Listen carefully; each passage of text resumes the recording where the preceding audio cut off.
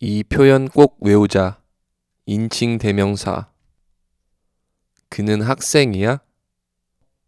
그는 학생이야? 他是学生吗? 아니, 그는 학생이 아니야. 不是,他不是学生. 그녀는 직장이냐? 他是上班族吗?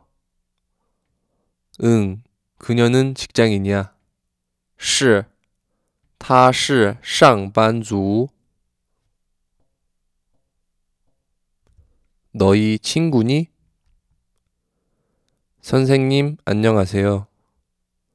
老师好. 여러분, 안녕. 你们好. 너희 친구니? 你们 是朋友吗? 네, 저희는 친구예요. 是,我们是朋友. 이건 제 것인가요? 이건 제 것인가요? 这个是我的吗?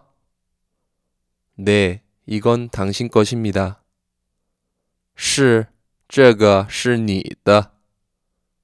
감사합니다. 谢谢. 별 말씀을요.